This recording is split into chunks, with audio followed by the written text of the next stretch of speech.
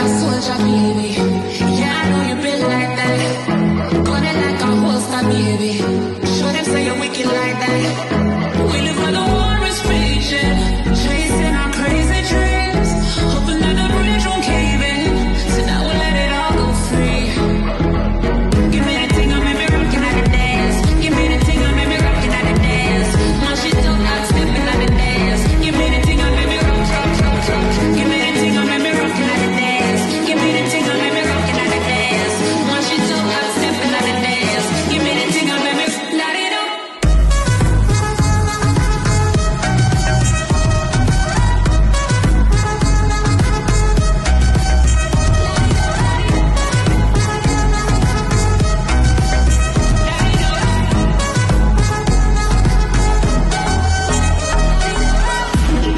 down your flame to the fire.